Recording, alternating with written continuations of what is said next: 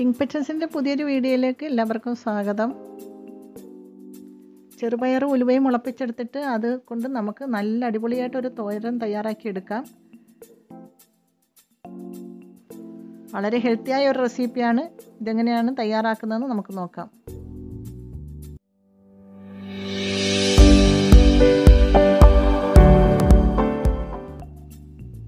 ഒരു പാത്രത്തിൽ നമുക്ക് ഒരു കപ്പ് ചെറുപയർ എടുക്കാം. നന്നായിട്ടൊന്ന് കഴുകിയതിന് ശേഷം കുതിർക്കാൻ വേണ്ടിയിട്ട് വെള്ളം ഒഴിച്ച് വെക്കുക. ഇതിപ്പോൾ ഞാൻ രാവിലെയാണ് ചെറുപയർ വെള്ളത്തിലിടുന്നത്. എന്നിട്ട് വൈകിട്ടാകുമ്പോൾ അത് വെള്ളം വാർത്ത് കളഞ്ഞിട്ട് ഓട്ടപാത്രത്തിലോ അരിപ്പയിലോ മുള വരാൻ വേണ്ടിയിട്ട് വയ്ക്കാം അതുപോലെ തന്നെ ഒരു കാൽ കപ്പ് ഉലുവ ഒരു പാത്രത്തിലെടുക്കുക. ഒരു കപ്പ് ചെറുപയർ എടുക്കുമ്പോൾ ഒരു കാൽ കപ്പ് ഉലുവൊക്കെ എടുത്താൽ മതി. അതും ഒന്ന് വാഷ ചെയ്തിട്ട് കുതിർക്കാൻ വേണ്ടിയിട്ടുള്ള വെള്ളം ഒഴിച്ച് വയ്ക്കുക കുതിർന്ന് കഴിഞ്ഞാൽ പിന്നെ വെള്ളം വാറുന്നതിന് ശേഷം മുളയ്ക്കാൻ വേണ്ടിയിട്ട് വെക്കണം. ഇത് ഓവർനൈറ്റ് നമ്മൾ മുളയ്ക്കാൻ വേണ്ടിയിട്ട് വെക്കുന്നുണ്ട്. ചെറുപയർ ഉലുവ ഇപ്പം നന്നായി മുള വന്നിട്ടുണ്ട്. ചെറുപയർ മുളയ്ക്കുന്ന പോലെ ഉലുവ അത്ര എളുപ്പത്തിൽ മുളച്ച് കിട്ടില്ല. അപ്പോൾ ചെറുപയർ മുളച്ച് കഴിഞ്ഞാൽ അത് എടുത്ത് ഫ്രിഡ്ജിൽ ഞാൻ വെച്ചു. പിന്നെ കുറച്ച് ടൈമും കൂടെ കൂടുതൽ വെച്ചിട്ടാണ് ഉലുവ ഇത്രയും മുള വന്ന് കിട്ടിയത്. തോരന് വേണ്ടിയിട്ട് നമുക്ക് ഒരു അരപ്പ് റെഡിയാക്കി എടുക്കണം. അതിനു വേണ്ടി ഒരു കപ്പ് തേങ്ങ മിക്സിയുടെ ജാറിലെടുത്തിട്ടുണ്ട്. അതിലേക്ക് കറിവേപ്പില ചെറിയ ഉള്ളി അരിഞ്ഞത് ചെറിയ ജീരകം പച്ചമുളക് ഒരു അല്ലി വെളുത്തുള്ളി കുറച്ച് മഞ്ഞൾപ്പൊടി. ഇത്രയും ഇട്ട് കൊടുത്തിട്ട് തോരൻ അരയ്ക്കുന്ന സാധാരണ രീതിയിൽ തന്നെ ഒന്ന് തരതരപ്പായിട്ട് അരച്ചെടുക്കുക. ഒരു ചട്ടി അടുപ്പത്ത് വെച്ച് അതിൽ അല്പം എണ്ണ ഒഴിച്ചിട്ട് ചൂടാകുമ്പോൾ കടുകിട്ട് കൊടുക്കുക.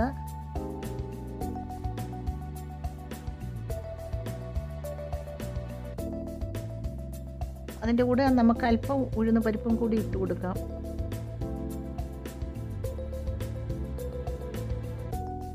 അല്പം ചെറിയ ഉള്ളി അരിഞ്ഞതും കറിവേപ്പിലയും കൂടി ഇട്ട് കൊടുക്കുക.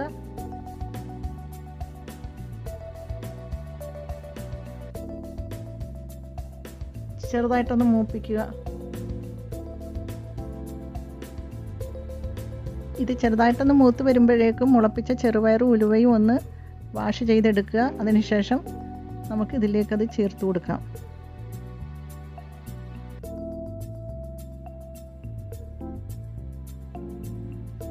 പിന്നെ ഇതിനകത്ത് നമ്മൾ ചേർത്ത് കൊടുക്കുന്ന ഒരു പ്രത്യേക ചേരുവ എന്ന് പറയുന്നത് ഒരു ചെറിയ കഷ്ണം കൂടംപുളിയാണ്. കൂടംപുളി അധികമായി പോകാതിരിക്കാൻ ശ്രദ്ധിക്കുക. ഒരു ചെറിയ പീസ് ചേർത്ത് കൊടുത്താൽ മതി. ഇനി ആവശ്യത്തിനുള്ള ഉപ്പ് ചേർത്ത് കൊടുക്കുക.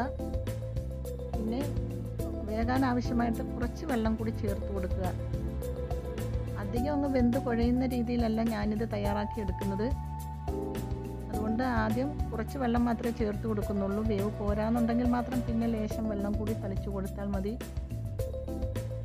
കുറച്ചുകൂടി വെന്ത രീതിയിലാണ് നിങ്ങൾക്ക് ഇഷ്ടമെങ്കിൽ ഇത് കുക്കറിലാക്കി കൊടുത്തിട്ട് ഒരു വിസിൽ വരുന്നത് വരെ ഒന്ന് വേവിച്ചെടുക്കാം.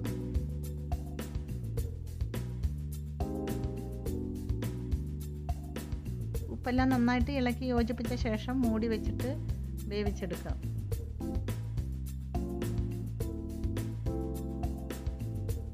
പാകത്തിന് വെന്ത് കിട്ടുന്നത് വരെ ഇടയ്ക്കിടയ്ക്ക് ഒന്ന് ഇളക്കി കൊടുക്കുക.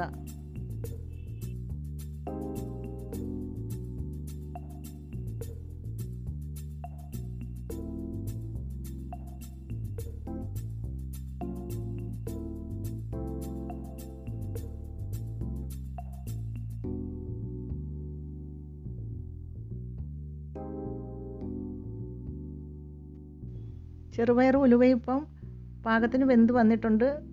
വെന്തങ്ങ് കുഴഞ്ഞ രീതിയിലല്ല അല്ലാതെ നല്ല മയത്തിൽ വെന്ത് കിട്ടിയിട്ടുണ്ട്.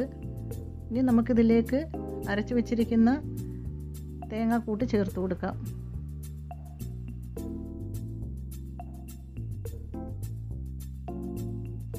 തേങ്ങ കൂട്ടി ചേർത്ത് കൊടുത്തിട്ട് തീ അല്പം കുറയ്ക്കുക. അതിനുശേഷം നമുക്ക് നന്നായിട്ടൊന്ന് ആവി വരുന്നിടം വരെ മൂടി വയ്ക്കാം.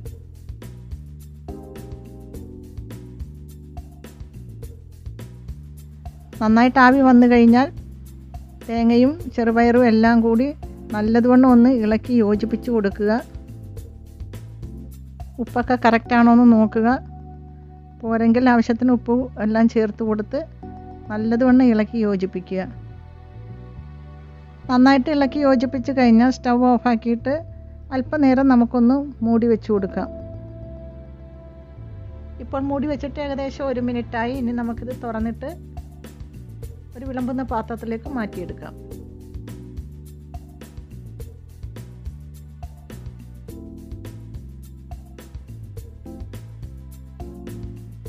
വളരെ ഹെൽത്തിയായ അതോടൊപ്പം നല്ല ടേസ്റ്റുമുള്ള ചെറുപയർ ഉലുവ തോരൻ ഇപ്പോൾ തയ്യാറായി.